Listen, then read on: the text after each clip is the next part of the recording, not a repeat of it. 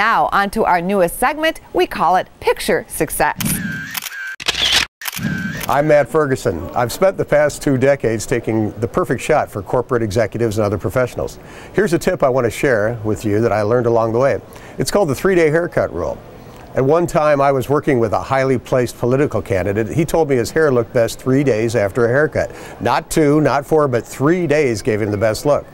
I found this amusing initially, but looked into it and found he was absolutely right. His hair truly did look best three days after a haircut. It's because you want a fresh looking cut, but hair needs three days to settle in. That experience taught me to develop a better eye and focus on fine details. It allowed me to see what I hadn't noticed before and picture success. I'm Matt Ferguson with ExecPix.